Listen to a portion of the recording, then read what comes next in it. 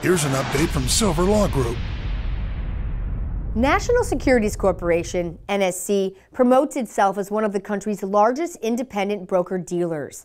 NSC was founded in 1947 and is headquartered in Seattle, Washington, with offices in New York and Florida. NSC is a FINRA registered brokerage firm and investment bank with stockbrokers or financial advisors serving retail investors and other businesses.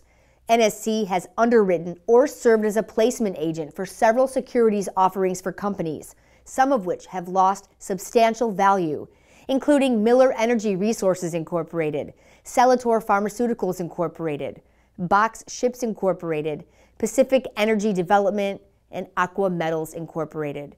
Scott Silver of Silver Law Group says when such investments go bad, investors are often left with few, if any, options to recover their lost funds. However, FINRA arbitration offers investors a potential path to recovery of their investment losses due to stockbroker misconduct. Silver Law Group is actively investigating several current and former national securities advisors.